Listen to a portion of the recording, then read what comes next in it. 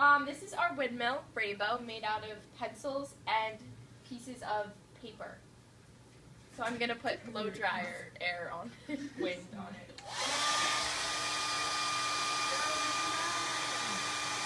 Of faster, you guys.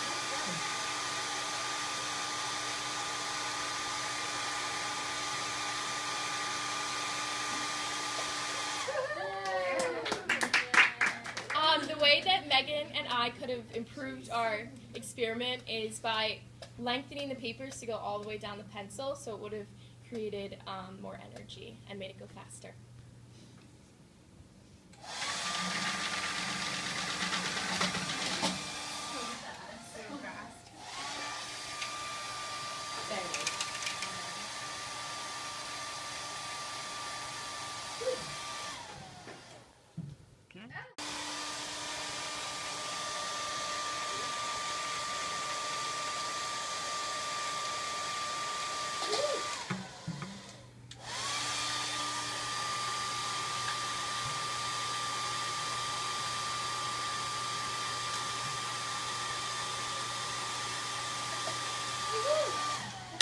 Hi, um, I'm Amelia, and this is Caitlin, and we put together our um, own little wind turbine.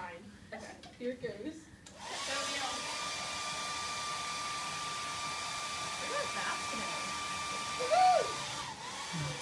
After um, Caitlin and I's experiment, we decided that one way to improve our creation was that if we could we think that it is very heavy, and to make it go faster, we would try and remove the cardboard and put a lighter substance in.